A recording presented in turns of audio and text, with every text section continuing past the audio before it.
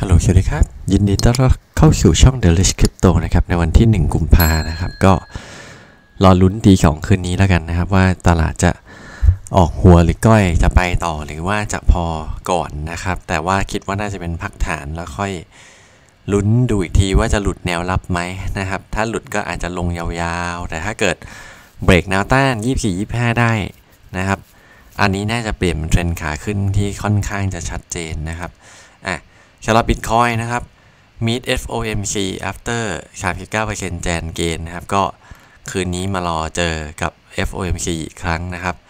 แล้วก็หลายคนเริ่มมองนะครับว่า เอ้ย มันเกิดเป็นสัญญาณแบริดหรือเปล่านะครับ จะขึ้นต่อไหมนะครับ เรามาดูก่อน ปี 2013 นะครับ Bitcoin วิ่งขึ้นไป44เปอร์เซ็นต์นะครับ เดือนกุมภาขึ้นอีก 61 นะครับ และเดือนมาร์ชขึ้น 172 นะครับ แล้วหลังจากเอพิลค่อยๆลงลง 1 2 3 3 เดือนนะครับ เริ่มพยุงตัว เริ่มกลับตัวย่อเล็กน้อย เริ่มกลับมาขึ้นใหม่นะครับ ทีนี้ไอ้รอบที่มันเป็นปีการกลับตัวเนี่ย จะเห็นว่ามี 2013 นะครับ ครั้งหนึ่งแล้วก็ต่อยาวๆ กับปี 2021 มาแล้วต่อยาวๆ ปี 2020 จุดเริ่มต้นของ BTC นะครับในการขึ้น all time high ในปี 2021 ก็คือตรงนี้นะครับ ดังนั้นผมคิดว่านะครับโอกาสที่ BTC จะเหมือนปี 2020 ตรงนี้อาจจะเป็นไปได้นะครับอาจจะเป็นไปได้นะ เพราะปี 22 นี่คือหมีทั้งปีมาแล้วนะครับหมีมาทั้งปี 21 นี่ all time high พีคสุดก็คือเดือน October แล้วก็เริ่มทุบ November December ลงมาเรื่อยๆ นะครับ อะ ทีนี้อาจจะเป็นไปได้นะครับว่าจะเหมือนปี 2013 ไหมที่ขึ้นยาวๆ 4 เดือน แล้วค่อยๆลงนะครับ แล้วก็เปลี่ยนเวฟไป หรือจะเหมือน 2020 ขึ้น แล้วก็ย่อแล้วก็ย่อ แล้วก็เริ่มกลับตัวขึ้นต่อ นะครับ แล้วก็ไปขึ้นอีกทีตอนช่วงออกโทเบอร์เลยนะครับแถวๆนี้ ประมาณนี้นะครับ เออ เพราะว่ามันอาจจะมีฮาร์ปวิ่งช่วงเดือนเมษาเนาะ เออ พอหลัง halving เสร็จ ก็อาจจะปั๊มขึ้นไปเหมือนอย่างเดือนปี2014 ตรงนี้ก็ได้ halving ปุ๊บวิ่งขึ้นไปนะครับ อะ ก็อันนี้ก็เป็นแนวคิดหนึ่งแล้วกันนะครับ ส่วนตัวดอลลาร์เนี่ย ถ้าเราสังเกตเนี่ย การที่ดอลลาร์มันเริ่มไหลลงเรื่อยๆเนี่ย แต่ว่ามันมีสัญญาณ divergence อยู่ในโซนแถวๆนี้ก็คิดว่ามันอาจจะต้องมีโอกาสที่จะวิ่งขึ้นมา retest ด้านบนแนวต้านก่อนที่มันจะลงต่อนะครับ อันนี้ก็เป็นสิ่งที่ต้องระวังกันนิดนึงนะครับอะอีกข่าวนึงนะครับทาง Tether นะครับ ก็เขาบอกว่าไม่ได้มีการให้ทางเชลเซียสกู้ยืมนะครับ อันนี้ก็รีบออกมาปฏิเสธข่าวเลยนะครับ ดังนั้น ก็ไม่ต้องห่วงในฝั่งของตัว Tether เนาะเขาคงไม่ปล่อยให้หลุด peg ง่ายๆนะครับ แบบนี้นะครับ คนอาจจะแบบเอ้ยแห่ถอนรัวๆอะไรเงี้ยอันนี้ที่เขารีบปฏิเสธก่อนเลยนะครับ แล้วก็ทางฝั่งเชลเซียสเนี่ยนะครับ ก็ได้มีประกาศนะว่าตัว user นะครับที่มีโอกาสถอนเงินออกไปได้เนี่ยมีใครบ้างนะครับ อันนี้ก็ ต้องบอกว่าก็ต้องไปลองตามข่าวในกลุ่มทวิตเตอร์เขาดูอีกทีหนึ่งแล้วกันนะครับสำหรับใครที่เคยไปทำธุรกรรมเอาไว้ในนั้นนะครับ อันนี้ก็คนไทยอาจจะไม่ค่อยได้ไปสักเท่าไหร่เนาะเออแต่ว่าถ้าคนต่างประเทศก็ไม่แน่นะครับ ทีนี้ข่าวอีกข่าวหนึ่งนะครับบิตคอยกับอีเทเรียมนะครับ ก็ตอนนี้เขาบอกว่าวานมันมันจะเริ่มเบื่อหรือยังมันถ้ามันเบื่อเนี่ยมันอาจจะทุบเล่นนะก็ ต้องลุ้นกันดูอีกทีนึงแล้วกันนะว่า จะสามารถที่จะขึ้นต่อไปได้ไหมนะครับ อันนี้เขาบอกว่าเขาปั๊มมานะครับ ประมาณเกือบ 30 วันแล้ว ก็เริ่มตั้งแต่วันที่ 1 เนาะเออก็ปั๊มขึ้นมาเรื่อยๆนะครับ แล้วก็ตลาดเนี่ยมีการพุ่งขึ้นมา 12.9 บิลเลียนนะครับ ก็ถือว่าเป็นตัวเลขที่ค่อนข้างมากพอสมควรนะครับ แล้วก็จาก 16 เนาะวิ่งมาถึง 23 นะครับ ดังนั้นตรงเนี้ย ถ้าเราดูเนี่ยก็คือ 7,000 เหรียญแล้วนะครับ จะไม่เอาลงเลยเหรอนะครับ หรือจะเอาลงไปขนาดไหนนะครับ ดังนั้นในช่วงนี้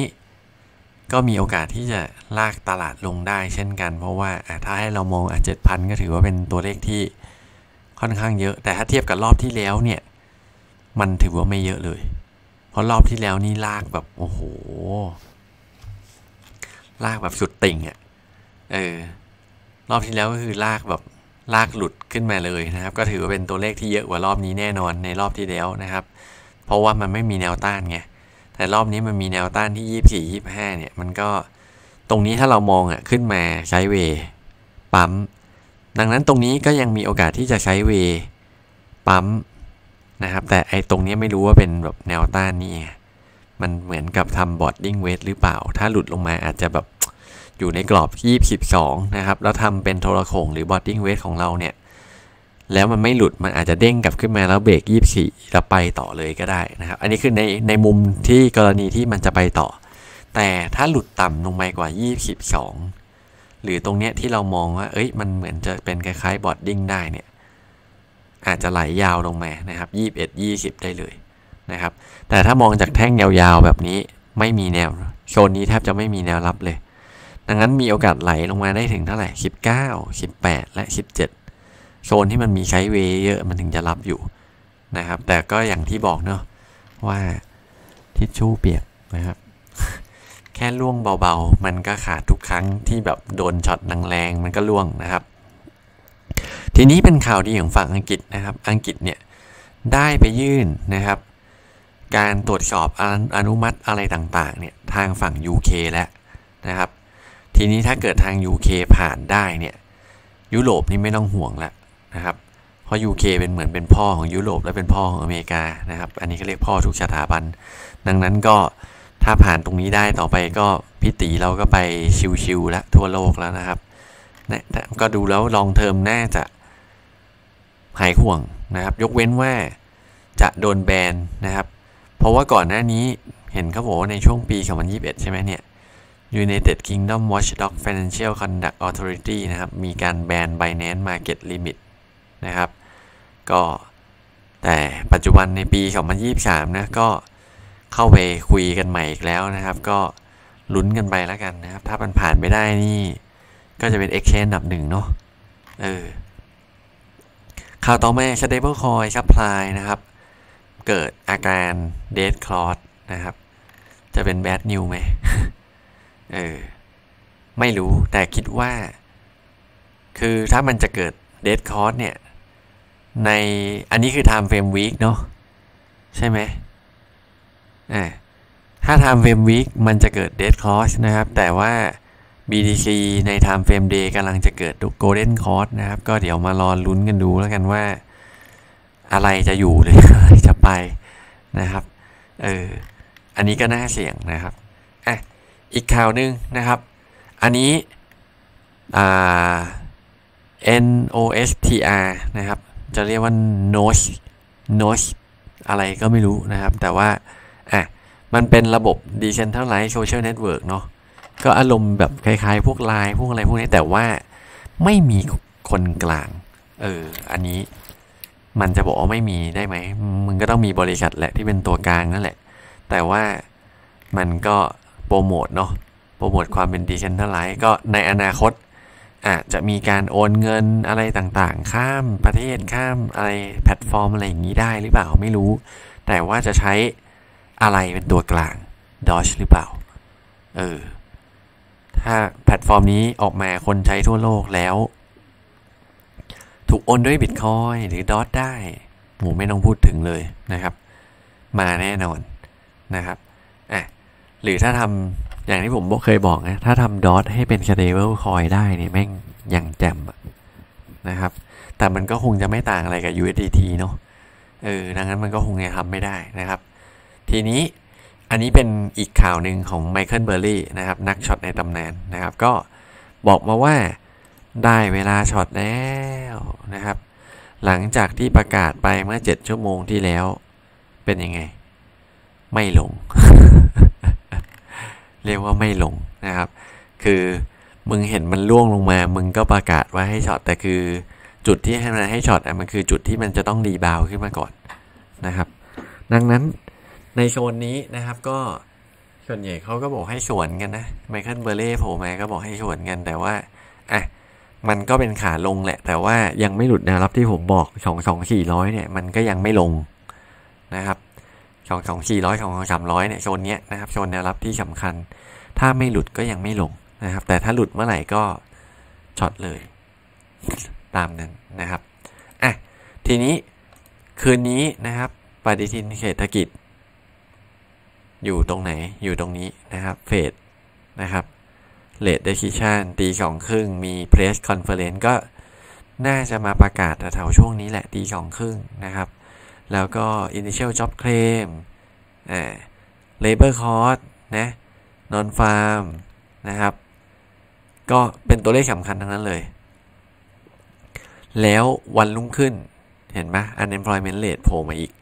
ดังนั้นไม่รู้ว่าคืนนี้อาจจะปั๊มขึ้น แล้ววันศุกร์จะลงไหม ดูทรงแล้วก็ไม่น่าลงอะ unemployment จาก 3.5 เป็น 3.6 แปลว่าอะไร แปลว่าคนตกงานเยอะขึ้น non farm นะครับ ถามว่าจาก 223 เหลือ 185 มันจะดีไหม แม่งก็ตัวเลขลดลงอีกก็คือไม่ดี เออ ดังนั้นถ้าเกิดเขาพิจิตว่าตัวเลขจะแย่ลงอย่างเงี้ย มันก็ไม่ได้ส่งผลดีกับดอลลาร์แน่นอนนะครับ ดังนั้นผมคิดว่าหลัง FOMC ประกาศก็น่าจะมีโอกาสที่จะจุดพุ พุ่งขึ้นไปต่อนะครับ แล้วก็มาลุ้นอีกทีวันวาเลนไทน์ที่ 14 นะครับ inflation rate จะเป็นยังไงบ้างนะครับ จะลดลงไหมจาก 6.5 หรือ 6.3 หรือ หรือจาก 6.5 จะเหลือ 6.0 หรือเปล่านะครับ ถ้ายิ่งลดลงไปมากกว่า 6.3 ได้ยิ่งดีนะครับ ตรงนี้ก็มารอลุ้นตัวเลข actual กันอีกทีหนึ่งนะครับ ก็ถึงกลางเดือน น่าจะปั๊มขึ้นไปแหละ มองมองทรง ทีนี้เรามาดูในส่วนของดอลลาร์ก่อน เปิดตลาดมาดอลลาร์นี่หลังเที่ยงคืนเป็นต้นมาวืบขึ้นไปแล้วเป็นยังไง ลงนรก เออ นี่คือลงนรก แล้วเกิดอะไรขึ้นทำ lower low เห็นไหมมีการทำ lower low ลงมานะครับ แต่แนวรับของดอลลาร์อยู่ตรงไหน อยู่ด้านล่างตรงนี้นะครับ ทีนี้เรามาดูในของเดือนก่อน อันนี้ผมน่าจะเปิด week ไว้เมื่อวานนะ วันนี้เรามาเปิดมันดูนะครับ เราจะได้รู้ว่าแนวรับที่มันควรจะลงไปมันอยู่ตรงไหน นี่ไงร้อยหนึ่งจุดห้าใครฟังคลื่นนี้บ้างนะครับอะร้อยหนึ่งจุดห้าร้อยจุดห้าอันนี้คือเป็นเทรนแนวรับลงไปข้างล่างนะครับ ถ้าหลุดตรงนี้ก็ไหลลงข้างล่าง ตรงนี้มันเคย retest มาแล้วรอบหนึ่ง ดังนั้นถ้ามันลงมาอีกแล้วหลุดทะลุตรงนี้ก็มีโอกาสที่จะไหลลงนรกไปเลยนะครับ ก็มาลุ้นกันดูแล้วกัน time frame week นะครับยังเป็นแท่งที่เราเปิด doji แท่งนี้เปิด rejection ลงมานะครับ ดังนั้นแปลว่ายังไม่รู้แน่ๆ จนกว่าหลังเฟดจะมา แต่ time frame day มันไม่ได้มีที่ให้ลงเยอะมากสักเท่าไหร่นะครับ ดังนั้นอาจจะมองว่ามีการ rebound ขึ้นมาหรือ sideway ไปอีกสักระยะหนึ่งก่อน แล้วจะพุ่งลงต่อหรือเปล่าอันนี้ไม่รู้นะครับ เออรอดูคืนนี้ แต่แท่งแดงแบบนี้มาแบบนี้นะครับ คิดว่าตีสองมาน่าจะลงต่อนะครับ แต่ถ้าลงมาสุดถึงร้อยจุดห้าตรงนี้ คิดว่าต้องมีเด้งกลับขึ้นมาบ้างแหละ มันก็ต้องมีแรงเทขายทำกำไรออกไปทองคำนะครับ กระโดดหนีใตายออกมายืนเหนือหนึ่งเก้าสามศูนย์ที่ผมเคยให้ได้แล้วเนาะ ดังนั้น ตอนนี้ในแท่งหนึ่งชั่วโมงมีแท่งปั๊มโผล่ขึ้นมาหนึ่งแท่งละ มีโอกาสที่จะเปิด long ขึ้นต่อนะครับเรามามองด้านซ้ายมือตรงนี้แนวต้านของสี่ชั่วโมงอยู่ที่หนึ่งเก้าสามห้า Bollinger อยู่ที่ 1937 นะครับ ถ้ายืนแตะด้านบนไม่ผ่านอาจจะวิ่งลงข้างล่าง sideway ไปก่อน ปรับฐานไปก่อน หรือตรงนี้อาจจะมีการทำไหลขวาไหม เนี่ยไหลหัว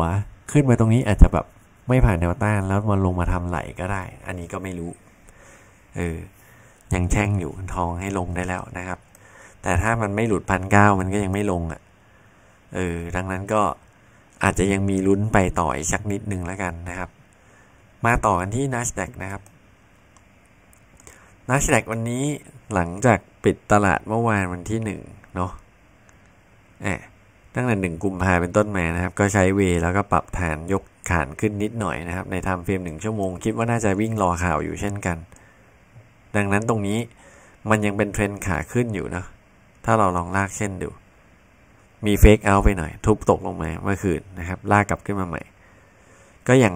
เป็นกรอบนะ คิดว่าตอนนี้กรอบน่าจะอยู่ที่โซนหนึ่งหนึ่งเก้าร้อยนะครับ ถึงหนึ่งหนึ่ง สองสี่ห้าโดยประมาณแล้วกันนะครับ S&P วันนี้ยังอยู่ใน rising weight ยังปั๊มขึ้นมาอยู่นะครับ แต่ว่ามีแท่ง rejection ลงมาแล้วนะครับ อันนี้อาจจะมีลุ้นลงมา retest 4,040 อีกสักรอบหนึ่งนะครับ ถ้าไม่หลุดแนวรับขาขึ้นน่าจะยังมีลุ้นไปต่อ มีการเปิดแท่งเขียวมหาชันขึ้นมาแบบนี้นะครับ แต่เจอแท่งนี้สวนลงมายังไม่ขึ้นก็ต้องรอไปก่อนนะครับ total market cap โดยรวมนะครับ วันนี้ มีการหลุดลงมาต่ำกว่า1 trillion ลงมาที่ 993 นะครับ โค้งลงแบบนี้ไม่ค่อยสวยเพราะอะไร ใน time frame หนึ่งอ่าสี่ชั่วโมงเนี่ย เราจะเห็นว่าอะอันนี้คือเทรนขาขึ้น แต่ว่า กรณีที่มันร่วงลงมา แบบนี้แล้วลง retestเกินครึ่งทางจะไม่ค่อยดีเท่าไหร่ ตรงนี้นะครับ เราจะเห็นได้ว่าอะ ตอนนี้มันอยู่ที่โซน 0.58 แล้ว อาจจะมีลุ้นที่จะกลับตัวในโซนนี้ได้ไหมนะครับโซน0.8 จนถึง 0.58 ก็คือ 991 992 เนี่ย คือทางเลือกสุดท้ายละ ถ้าลงมารีเทสด้านล่างแถวๆนี้ มีโอกาสที่จะลงมาที่โลเดิม แต่ถ้ายืนตรงโซนนี้ไหวนะครับ แล้วสามารถกลับมาเบรกแนวต้านนะครับที่ บริเวณ 0.236 ได้ก็คือ 1 ทริลเลียนได้เนี่ย ก็มีโอกาสที่จะปั๊มกลับขึ้นมาข้างบน แต่ถ้าเบรกไม่ได้ก็เดี๋ยวรีเทสข้างล่างแล้วอาจจะหลุดแนวรับขาขึ้น อันนี้ก็ต้องลุ้นแล้วกันนะ มาคืนนี้แน่ๆนะครับ USDT นะครับ สัญญาณกลับตัวขึ้น แบบนี้นะครับ Bollinger เด้งขึ้น เด้งขึ้นนะครับ แต่ไม่ผ่านแนวต้านนะครับ ตอนนี้ยังติดแนวต้านอยู่ที่โซน 6.84 ถึง 6.85 เนี่ย ตรงนี้คือโซนแนวต้าน เบรกออกจากเทรนด์ขาลงมาได้ใน time frame 1 ชั่วโมงนะครับ ก็ยังถือว่ายังอยู่บนแนวรับขาขึ้นแล้วกันนะครับ ตรงนี้กลับขึ้นมาปุ๊บใช้เวกดลงมาย่อฐานนะครับ ยืนเส้นกลางโบลิงเจอร์ได้ ยกตัวกลับขึ้นมานะครับ ถ้าเบรก 6.85 ได้นะครับ ก็ลุ้นกลับไปที่ 6.9 ใหม่อีกรอบหนึ่งแล้วถ้าไม่ผ่าน 6.9 ก็จะลง แต่ถ้าตรงนี้เกิดสัญญาณที่เบรก 6.9 ได้ มีโอกาสที่จะพุ่งขึ้นไปต่อนะครับ ที่แนวต้าน 6.96 ก็คือไฮเดิมด้านนี้ แล้วหลังจากนั้นก็กลับตัวขึ้นยาวๆเลย นี่ มันจะวิ่งกลับขึ้นมาหาด้านบน แต่โดยปกติเวลาล่วงลงมาแบบนี้ มักจะผ่านยังไม่ได้ ยกเว้น USDT อาจจะได้ก็ได้ แท่งวีคเปิดแท่งกลับตัวมาแล้วนะครับ ถ้าเบรกได้ขึ้นกลับขึ้นมาแน่ๆ แต่ว่าจะมาได้ถึงไหน จะมาได้ถึงโซน 7.78 ตรงนี้ไหม ถ้าขึ้น 7.78 ตรงนี้ BDC น่าจะหายไปอย่างน้อยสัก 4,000 ถึง 3,000 นะครับ ก็ระวังกันหน่อยแล้วกันนะครับ ทีนี้เราดูที่ BTC กันบ้างใน time frame หนึ่งชั่วโมงเห็นว่ามันย่อลงมานะครับ มีการเด้งขึ้น แล้วก็เกิดสัญญาณการไม่ทำ new high ไม่ทำ new high นะครับ เกิดอาการ sideway ออกข้างนี่จุดนี้จะเห็นได้ว่า พอขึ้นมาปุ๊บ หลุด retest ลงนะครับ จุดนี้คือแนวต้านอะก็คือไม่ผ่านนะครับ อะจุดนี้คือแนวรับเบรกล่วงกลับขึ้นมารีเทสเช่นกลายเป็นวิ่งใช้เวย์ออกข้าง ดังนั้นตรงนี้เราปิดแบบนี้นะครับ เราให้เหลือแค่นี้อะตรงนี้ก็พยายามที่จะกลับขึ้นมาอยู่นะครับ เราก็กำลังลุ้นอยู่ว่า เอ้ย มันจะหลุดสามเหลี่ยมตรงนี้ไหมเออ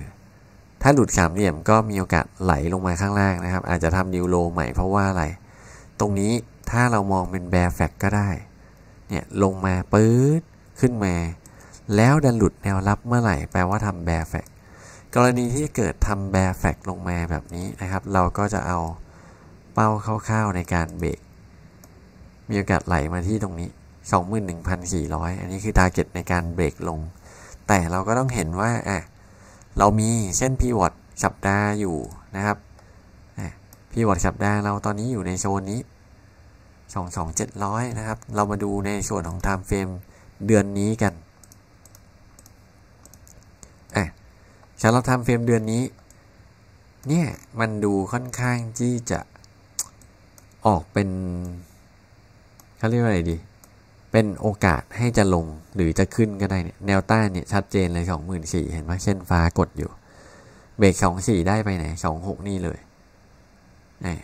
สองสี่สองหกนะครับ แต่ถ้าเบรกลง เราก็มาดูเป้ามันก่อน เป้าแรกเลยอยู่ตรงนี้สองสองหนึ่งห้าเป้าสองนะครับสองหนึ่งหนึ่งแปดเห็นปะใกล้เคียงนะ ถ้าเบรกลงตรงนี้นะครับ มีโอกาสอาจจะลงมาถึงตรงนี้ก็ได้อีกจุดหนึ่งนะครับ ตรงนี้เราเห็นแนวรับเนาะสองหนึ่งห้าร้อยตรงนี้ก็มีโอกาสเช่นกันนะครับ แล้วก็เช่นประสีฟ้ารออยู่แถวๆโซนสองหมื่น หกร้อยถึงแปดร้อยขึ้นอยู่ว่าจะลงมาเมื่อไหร่ประมาณนี้ถ้าเราดูจาก time frame 4 ชั่วโมง ทีนี้ Bollinger นะครับ จุด squeeze ของมันนะครับ ถ้ามันหลุดลงมาอะเส้นกลางนะครับ อยู่ตรงนี้ 22990 ก็ประมาณ 2 23,000นั่นแหละนะครับ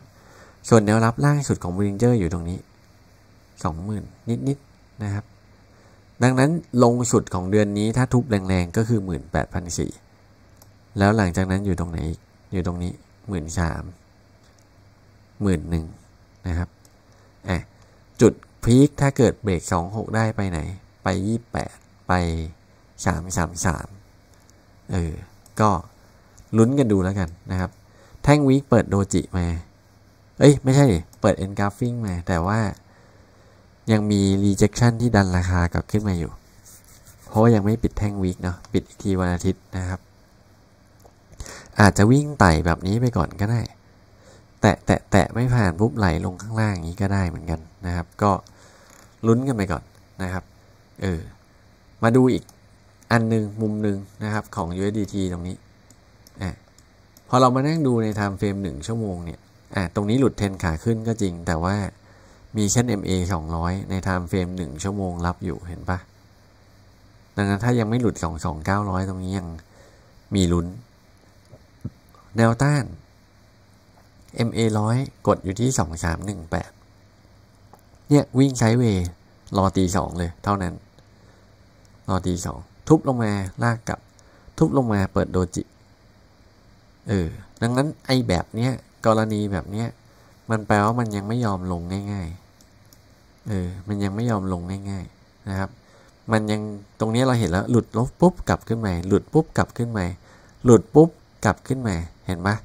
ยังเกาะเส้น MA กับ EMA 20 50 ตรงนี้อยู่นะครับ ซึ่งถ้าหลุดตรงนี้เราเห็นแล้วแนวรับเนี่ย2 2 4 5 7 หลุดสุดตรงนี้ยังไม่น่าลง 2 2 1 7 9 ยังไม่น่ามา แต่ถ้าหลุดตรงนี้ก็คือไหล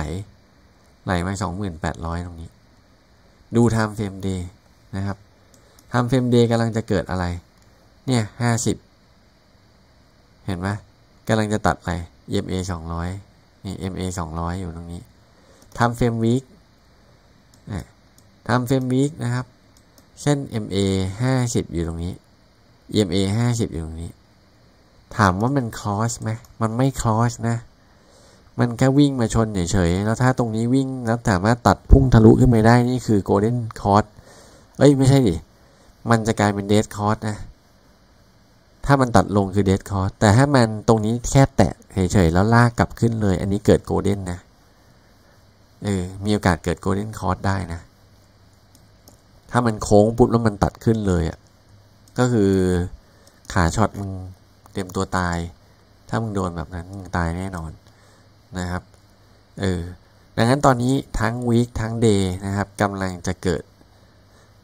เหตุการณ์ให้ลุ้นเล่น แต่อย่างที่ผมบอกนะ คุณอย่าลืมดู MACD MACD ตัดแล้ววีคด้วย สัญญาณนี้เขาเรียกว่าอะไร สัญญาณนี้เขาเรียกว่า MACD Golden Cross เออผมตั้งชื่อให้เลยนะครับ MACD Cross เนี่ยนะครับ ก็เป็นสัญญาณขาขึ้น ทุกครั้งที่มันตัดลงนะเดี๋ยวให้ดูตอนที่มันตัดลง เราย้อนขึ้นมา จุดนี้ จะเห็นว่ามันตัดลงเห็นปะแท่งเป็นไง อันนี้ก่อนตัดลง อันนี้หลังตัดลง พอตัดลงเสร็จแท่งต่อไปนะครับ ก็เริ่มใช้เวแล้วก็ดาวลงมาเรื่อยๆ แล้วจุดนี้นะครับ ฟ้ามาตัดแดงตรงนี้ เห็นปะ แต่แม่งก่อนจะก่อนจะตัดคือกูปั๊มขึ้นมาแล้วเนี่ยปั๊มมาจนถึงสุดทางแล้วเนี่ยนะครับอะตัดอีกครั้งหนึ่งตรงนี้ ใช่ไหมตัดไปมาเนี่ยอันนี้แค่ชนยังไม่ผ่านนะแล้วมาตัดตรงนี้สี่ตุลา มาดูตรงสี่ตุลาตรงนี้อะสี่ตุลาปั๊มขึ้นเห็นปะทีนี้ถ้ามันตัดกันแล้ว ตรงนี้นะครับ เราจะเห็นว่ามันตัดกันแล้ว ตัดกันจริงๆตั้งแต่สิบหกมกราแล้ว แล้วตรงนี้ก็กำลังพุ่งขึ้นมาอยู่ แท่งเขียวสามแท่งอะจังหวะที่มันตัดขึ้นตรงนี้ นี่นะครับสี่ตุลาหนึ่งแท่งสองแท่งสามแท่ง พอเข้าแท่งที่สี่ใช้เว แท่งห้าปั๊มขึ้น แท่งหกจบรอบ จบรอบเสร็จ อันนี้ เริ่มเข้าสู่การตัดลง อันนี้ตัดลงเห็นไหมไหล ดังนั้นจุดนี้ถามว่าอะโอเค ปั๊มขึ้นมาแล้ว ปั๊มมาตั้งแต่ก่อนตัดแล้วตรงนี้หนึ่งแท่งหนึ่งแท่งนี้นะครับ แล้วก็ปั๊มหนึ่งสองสามดังนั้นแท่งนี้อาจจะใช้เวก่อน หรือปรับฐานย่อตัวลงมาที่ MA 20 ก็ได้นะครับ ถ้าไม่ผ่านรีเทสตรงนี้ไม่ผ่านเนี่ยไหลลงมาที่ 20 แล้วอาจจะเด้งกลับขึ้นมาตรงนี้ เพื่อทำอะไร นี่ไง invert head and shoulder นะครับ ก็ลุ้นกันไปแล้วกันว่าจะทำแบบนี้ไหมนะครับ แล้วก็โซนนี้อย่างที่บอกเลยใน time frame week เนี่ย ตั้งแต่ 24 นะครับ จนถึง 28 เนี่ย แนวต้านทั้งนั้นเลยเนี่ย EMA EMA เนี่ย เกาะกันแนวแน่นนะครับ ถ้ามันคอสลง มันก็แปลว่ามันต้องทุบลงไปแล้ว แต่ถ้ามันขึ้นมาตรงนี้แล้วกราฟสามารถพุ่งทะลุขึ้นไปได้เนี่ย กลายเป็นว่ามันแตะปุ๊บมันดีดสปริงมันลากขึ้นไปเลยนะครับ ก็เป็นไปได้เหมือนกัน เออทำเฟรมมันเปิดแท่งกับตัวขนาดเนี้ยคิดว่ามันจะลงเออ แท่งกับตัวขนาดนี้เอาจริงๆเนี่ยถ้าได้สูงกว่านี้ สูงกว่าไอ้สองแท่งนี้จะดีมาก เพราะอะไร เพราะว่าการที่มันลากขึ้นมาแบบเนี้ย มันติดแนวต้านไง เออ แต่ถ้าผ่านไปได้จะดีกว่านี้ แต่ว่าตอนนี้ก็มองว่าอะโอเคลุ้นขึ้นมากับตัว แล้วตรงนี้อาจจะยังขึ้นได้อีกนิดนึงจนถึงโซน 0.50 เนี่ยไอ้ใช้50 กราฟมันเนี่ย ก็น่าจะยืนอยู่ที่โซนประมาณ 25 นั่นแหละนะครับ เบรก 25 28 ได้ ไม่ต้องลุ้นแล้วนะครับ บินแน่นอน แต่ไม่รู้จะบินไปถึงไหนนะครับ มาดูที่ Ethereum บ้างนะครับ Ethereum ก็เหมือนกันนี่ หลังจากที่เบรกขึ้นมาลงมา retest ไม่ผ่านกลับขึ้นมาใหม่ retest เส้นหมุนไปหมุนมาอยู่ตรงนี้นะครับ pivot แนวต้านกราฟสัปดาห์อยู่ที่ 1590 นะครับ แนวต้าน week ไปแล้วเรามาดูแนวต้านของเดือนบ้างพราะทุกครั้งที่เปลี่ยนเดือนเนี่ยตัวพีวอตเดือนมันจะเปลี่ยนตามนะแนวรับพีวอตเห็นไหมอยู่ใกล้เช่นแนวรับที่ผมให้ไว้นะครับ ก็จะอยู่แถวๆหนึ่งห้าสามสี่ ถ้าหลุดไปนะครับ ไหลมาหนึ่งสี่และหนึ่งสี่สามห้านะครับ แนวต้านด้านบนโอกาสพุ่งมาหนึ่งหกแปดศูนะครับ จะมาถึงไหม่นอตรงนี้คือกรอบไซเวย์นั่นเอง ถ้าวิ่งขึ้นมาทะลุแนวต้านนี้ได้พุ่งขึ้นมาหาสีเขียวแน่นอนที่ 1,780 นะครับอะแนวรับต่ำสุดอยู่ที่ 1290 นะครับสำหรับตัวนี้ก็ อย่างที่ผมบอกเนาะปรับฐานใช้เวย์อยู่เบรกพันหกได้บินขึ้นนะครับ ถ้าหลุดต่ำกว่าโลเดิมนะครับ ที่บริเวณเท่าไหร่ ตรงนี้มันเปิดเฉียงเฉียงๆมาแล้วนี่เนี่ยมีแนวรับแนวรับอยู่นะครับ แต่ตรงนี้เกิดแนวรับสำคัญขึ้นมาที่ 1564 ถึงหนึ่งห้าหกศูนย์ถ้าหลุดหนึ่งห้าหกศูนย์เนี่ย น่าจะไหลลงมาข้างล่างที่แนวรับด้านล่าง แต่ถ้าไม่หลุดอาจจะมีโอกาสที่จะปั๊มขึ้นเนาะ ช่วงนี้จะยังมองไม่เห็นไดเวอร์เจนใด ๆ นะครับสำหรับแนวรับ ดังนั้นก็เจอแต่ฮิดเด้นฮิดเด้นแบร์ข้างบนนะที่ทุบลงมานะครับ เนี่ยไหลหัว แต่ไหลตรงนี้ไม่หลุดนะครับ ลากกลับขึ้นมาก่อนนะครับ แต่ถ้าลงมาซ้ำอีกรอบหนึ่งแล้วหลุด อันนี้คือไหลลงนรกเลยนะ เออ ดังนั้นต้องระวังนะครับสำหรับใบแนนเนาะข่าวดีมาเป็นไง เขียวนะครับ สี่ชั่วโมงนะครับ ตรงนี้เบรกออกมาไม่ผ่านอะกดลงไปใหม่นะครับ เกิดสามเหลี่ยมอะตรงนี้มีอะไรมีแนวรับปะเช่นนี้นะครับ เราลากขึ้นมาให้มันเป็นแนวรับก็จะอยู่ที่โซนนี้นะครับอะดังนั้นเราดูจากโบลิงเจอร์ก็ได้สามร้อยสี่คือแนวรับ แต่ถ้าเราดูจากเส้นนี้ที่มันลากขึ้นมาเนี่ย แนวรับจะอยู่ที่บริเวณแถวสามศูนย์ห้าจุดห้า ถ้าไม่หลุดมีลุ้นไปต่อนะครับ เบรกสามหนึ่งสองได้มีโอกาสกลับตัวขึ้นต่อเอด้านะครับเอด้าสามพันเจ็ดตรงนี้ลากมาลากกลับ ลากลงมาใหม่ โอ้โห มึงเล่นอะไรเนี่ยนะครับ นี่คือแนวรับขาขึ้นอะทำเฟรมสี่ชั่วโมงนะครับ หลุดนิดนึงนะครับ มีการหลุดลงมานิดนึง ตีให้มันใหม่แล้วกันประมาณนี้นะครับอะดังนั้นโซน3,007คือแนวรับของ a ด้นะครับ แนวต้านจะอยู่ที่โซนบริเวณ 3,800 จนถึง 4 นั่นเอง เบรก 0.4 ได้เมื่อไหร่ a ด้น่าจะพุ่งขึ้นอวกาศไปเลยนะครับ ต่อมา OMG นะครับ วันนี้ทุบลงมา 1 2 3 เกิดสัญญาณ d i v e r g e n c ลากขึ้นกำลังจะลากตัวขึ้นไหม time frame สี่ชั่วโมง ทุบหนึ่งทุบสองนะครับ ปั๊มขึ้นมาไม่ผ่านแนวต้าน กดลงมาใหม่ทำ new low ใหม่นะครับทำ new low ใหม่ แปลว่ายังไม่จบยังทำ new low อยู่ แต่ new low นี้ มีสัญญาณ divergence เนาะดังนั้นตรงนี้มีลุ้นกลับตัวขึ้นนะ ถ้าเบรกแนวต้านได้อะเรามาดูแนวต้านก่อน โซนนี้นะคือแนวต้านนะครับ ถ้าเบรก 1.38 ถึง 1.39 ตรงนี้ได้ น่าจะมีลุ้นพุ่งกลับขึ้นมาเทส 1.42 ผ่าน 1.42 ได้กับตัวพุ่งกลับขึ้นมาข้างบน ถ้าผ่านไม่ได้จุดใดจุดหนึ่งมีโอกาสล่วงต่อนะครับอะตรงนี้เรามองเนี่ยซ้ายมือ 1 2 3 เห็นไหมดีเทสสามรอบ 1.35 เป็นแนวรับสำคัญห้ามหลุด ถ้าหลุดช็อตต่อนะครับ ลงมาลุ้นมา 1.25 และ 1.15 ด้านล่าง ต่อมามาที่แก้วนะครับ แก้ววันนี้ปั๊มขึ้นมาเนาะวันที่ 1 ปั๊มเลยนะครับ จาก 2 ไป 2.5 เรียบร้อยย่อลงมา รีเทส2.3 ไม่ผ่าน หลุดลงมาไหมไม่หลุดยังพยายามลุ้นกลับตัวขึ้นมานะครับลุ้นกลับตัวขึ้นมาตรงนี้ แนวต้าน 2.3 นะครับ แนวรับ 2.2 หลุด 2.2 ไหลลงยาวๆ กลับมาที่ด้านล่างนะครับ 4 ชั่วโมง ปั๊มขึ้นมา หาจุดแนวรับให้มันนะครับ 0.5 กลับขึ้นมา ถ้าไม่ผ่าน 0.382 ที่ 2.3 แปลว่ามีโอกาสไหลลงกลับลงมาข้างล่าง แนวรับสำคัญคือ 0.69 นะครับ จะอยู่ที่ 2.13 นะครับ ถ้าหลุดตรงนี้เจอกันข้างล่าง S&T นะครับ วันนี้ปั๊มจาก 2,006นะครับ วิ่งไป 4,000 โอ้โหเฮียอย่างโหดแต่เหรียญนี้ไม่ต้องพูดถึงนะ ปั๊มทีเสร็จทิ้งแล้วนะครับ ปั๊มเสร็จก็โดนทิ้งนะครับแนวรับอยู่ที่ 3,000 เลยบริงเจอร์รออยู่นะครับ เดี๋ยวก็ลงมา หลุด 3,000 เจอกัน 2,008 ไม่สิ ตรงนี้ตัดลงมา แนวรับจะอยู่ตรงนี้ 2,731 เนาะ ถ้าหลุด 2008 นะ เห็นปะรับปุ๊บอยู่นี่นะครับ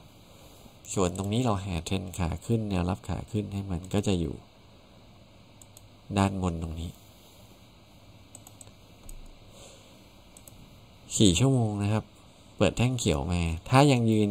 เกาะนะครับสามหนึ่งห้าตรงนี้ได้นะ ยังอาจจะมีลุ้นใช้เวนะครับ ลุ้นใช้เวแต่ผมคิดว่าน่าจะลงมาศูนย์จุดสามเนี่ย ดูทรงแล้ว แนวรับเขาอยู่ตรงนี้ เคนซีนะครับ วันนี้ก็ปั๊มขึ้นมาเหมือนกัน อยากหนึ่งอยากสองอยากสามยังไม่มีใดนะครับ เปิดแท่งกับตัวแต่ดูทรงแล้วไม่น่าจะรอด เวลาขึ้นแท่งใหญ่แบบนี้แล้วลงมาเกินครึ่ง มักจะลงกลับมาที่เดิมนะครับ ดังนั้น ใครจะรอเก็บ ผมว่ามารอเก็บที่ 0.74 ถึง 0.755 แล้วกันนะครับ time frame 4 ชั่วโมงนะครับ ยังใช้ wave รับฐานยังไม่จบยังทำ lower low ทำ higher low นะครับ ดังนั้นยังมีโอกาสลงต่อสำหรับ KNC นะครับ time frame day จริงๆ ยกขึ้นมาค่อนข้างสวยนะ แต่ว่า ไอ้ก้อนนี้ดันทำ new low และไอ้ก้อนนี้จะรับอยู่หรือเปล่า แนวรับนี่อยู่ตรงนี้ 0.68นะครับ0.68ถึง0.7คือแนวรับนะครับของ KNC ดูฟิโบก็ได้อะอะลงมาที่ 0.382และรีเทสกลับขึ้นมานะครับ0.236 ไม่ผ่านนะครับ ไม่ผ่าน เราต้องลุ้นให้มันผ่านแนวต้านนี้ให้ได้ ถ้ามันผ่านแนวต้านนี้ได้มีโอกาสพุ่งขึ้นต่อยาวๆ แต่ถ้ายังผ่านไม่ได้นะครับแล้วหลุดใต้ 0.382 เนาะ ก็คือ 0.732 เนี่ย ก็มีโอกาสไหลลงมาที่ 0.678 ด้านล่างนะครับ ประมาณนี้เนาะ มาที่ LRC นะครับ วันนี้มี 1 มี 2 ทำ cup ทำแก้วแล้ว นี่ cup and handle นะครับ cup and handle ตรงนี้เบรกต้านได้ไหมกำลังเบรกต้าน ตีเส้นนี้เลยรอ เส้นนี้ได้มีโอกาสปั๊มขึ้นต่อนะครับ แนวต้านตอนนี้คือชนแล้ว 3640 เนาะประมาณนี้นะครับ เบรกได้ทำคับแอนแฮนเดิลขึ้นต่อนะครับสำหรับ LRC ลุ้นไปต่อ AR นะครับ 4 ชั่วโมง อันนี้คือเทรนขาขึ้นของเขา หลุดลงมากลับขึ้นมานะครับเบรกไม่ได้ตกลงมาใหม่นะครับ ดังนั้นมีโอกาสที่จะ ต้องลุ้นนะกันว่าจะเบรก 11.5 ได้ไหม ถ้าเบรกขึ้นไปยืนเหนือ 11.5 ได้ มีโอกาสไปตั้งฐานด้านบนแล้วไปต่อ ถ้าเบรกไม่ได้ เจอกันข้างล่างโลเดิมนะครับโซน 10.6 แล้วกันนะครับ อันนี้ก็มองว่าน่าจะเหมือนอยากขึ้นต่อนะ มาดู BTC ในไทม์เฟรมหนึ่งชั่วโมงมั้งโอ้ shit โอเคอะ BC นะครับกรอบนี้นะสามเหลี่ยมนะ ถ้าเบรกออกไปได้นะครับ ก็มีโอกาสกลับตัวขึ้น นี่พยายามปั๊มขึ้นมาเนาะอะกลับมาที่อะตอมนะครับเหลืออีกสองเหรียญนนะครับอะทำเฟรมสี่ชั่วโมงของอะตอม ขึ้นต่อแน่นอนทรงนี้นะครับ หนึ่งสองสามสี่เบรกแนวต้านปุ๊บเบรกขึ้นปุ๊บพักฐานสิบสี่นะครับ แบบนี้ลุ้นเบรกสิบสี่จุดห้าแล้วไปต่อนะครับ แนวต้านสิบสี่จุดห้าถ้าดูจาก time frame day ขอปิดเลย ปิด pivot ด้วย Bollinger มีสัญญาณการ squeeze นิดหนึ่งนะครับ แล้วก็ตรงนี้ แนวต้านเนาะ เบรกได้พุ่งขึ้น 100 เมตรนะครับอะตอมนะครับ มาต่อกันที่ INJ นะครับ วันนี้มีอะไรให้ดูบ้าง ปั๊มมากี่รอบแล้ววะเนี้ยโอ้โหหนึ่งสองสามสี่ห้าป่ะ นี่เหมือนจบรอบแล้วหนึ่งสองสามสี่ห้าเออ time frame day นะครับ day new high new high และ new high หมดรอบยัง ยังไม่ถึงเป้านะครับ ถ้าจะถึงเป้าก็คือต้องวิ่งขึ้นมาที่ 3.61 นะครับ แต่ตรงนี้แตะพีวอตแนวต้านที่ 3.39 ไปแล้วนะครับ ดังนั้นถ้าเกิดว่าจะเริ่มลงผิดไหมก็คงไม่ผิดแล้ว แต่ดู RSI ซะก่อนยังโคตร peak เลยไม่รู้มีอีเวนต์ข่าวอะไรดี นะครับ time frame day สุดยอด week ยังมีลุ้นอยากขึ้นนะครับงั้นเอาเป็นว่าถ้ามันกลับไปยืนเหนือ 3.5 ได้เนี่ยมันไปต่อยาวๆ แต่ถ้ามันขึ้นแตะแบบนี้แล้วไม่ได้ ให้มันปรับฐานใช้ wave รอ wave หนึ่งนะครับเออถ้ามันยิ่งย่อเยอะเท่าไหร่ก็แปลว่าลงนรก แต่ถ้ามันย่อน้อยนะครับ ก็มีโอกาสที่จะ วิ่งไปต่อ เราแนวรับนี้แล้วกัน แล้วเราก็ลากขึ้นแบบนี้นะครับ แนวรับจะอยู่ที่โซนสามเหรียญนนะครับ ถ้าตรงนี้ยังปรับฐานย่อลงย่อลงทำนิวโลอย่างนี้เรื่อยๆนะครับ มีโอกาสที่จะลงมา retest ที่ 3 ดอลลาร์นะครับ ตรงนี้หลุดแนวรับขาขึ้นไปแล้ว ต้องหาจุดพักฐานนะครับ ถ้าพักฐานได้ที่โซน3ตรงนี้ก็ยังถือว่าโอเค นะครับ แต่ถ้าไม่ลงต่ำกว่าโซนนี้ ก็มีลุ้นที่จะไปต่อยาวๆ แต่อันนี้มองว่าหมดแรงแล้วแหละ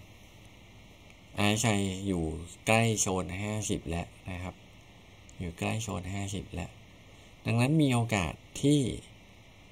ตรงนี้ไม่ผ่านรีเจ็คเนี่ย ถ้ารีเจ็คตัวโบลิงเจอร์ใช่ใช่กลางเนี่ยที่3.24ตรงนี้ไม่ได้เนี่ย มีโอกาสที่จะไหลลงมาด้านล่างแล้วกันนะครับ แนวรับแรกคือ 3 ดอลลาร์ ถึง 2.95 นะครับ โอเค ก็ยังไงคืนนี้นะครับ คงต้องลุ้นช่วงตีสองนะเออว่าจะเป็นยังไงนะครับ ยังอยู่ในกรอบโซนสองสองสองเก้าสองสองแปดได้ก็ยังถือว่าโอเคนะครับ แล้วตรงนี้ยังยกโลขึ้นมาอยู่ นะครับยังยกโลอยู่ ส่วนไฮเนี่ยมันเริ่มที่จะแคบลงเรื่อยๆแล้วนะครับ เนี่ยขึ้นสุดทางเลื่อนนะครับตีสามตีสี่ถ้าเบรกสองสามหนึ่งร้อยได้พุ่งขึ้น ถ้าเบรกลงต่ำกว่าแนวรับโลนี้เนาะต่ำกว่าสองสองเท่าไหร่สองสองแปดร้อยแล้วกันนะครับ ต่ำกว่าสองสองแปดร้อยก็ลงนรกนะครับ อะตามนี้นะครับโอเค วันนี้หากใครชื่นชอบอย่าลืมกดไลค์กดแชร์กด subscribe กดกระดิ่งติดตามนะครับ แล้วก็ระมัดระวังช่วงตีสองถึงตีสองครึ่งหน่อยละกันนะครับ วันนี้ฟันดีลาตีสวัสดีขอบคุณครับ